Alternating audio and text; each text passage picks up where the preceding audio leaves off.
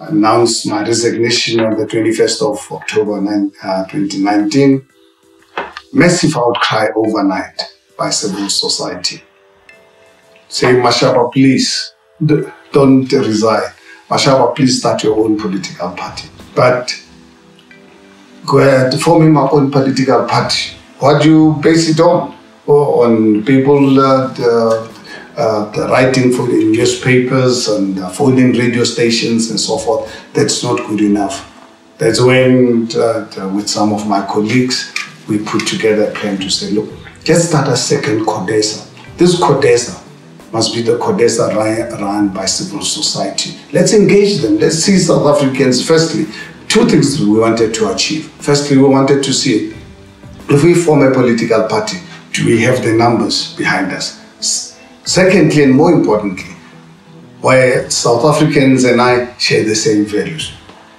That resulted with the launch of the People's Dialogue on the 6th of December um, uh, 2019. We were overwhelmed by the response of South Africans. 2.4 million submissions.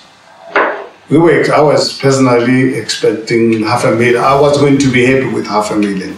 2.4 million submissions. Of the 2.4 million submissions, 125,000 of them quite extensive submissions, 10 to 12 page long, giving us turnaround strategies, how, how to, uh, to turn around SAA Airways, Eskom, and so forth. These are people, South Africans, uh, who are saying, not in our name, we can still save this country. That's really what animated me about uh, the people of this country. People of South Africa wanted a non-racial South Africa.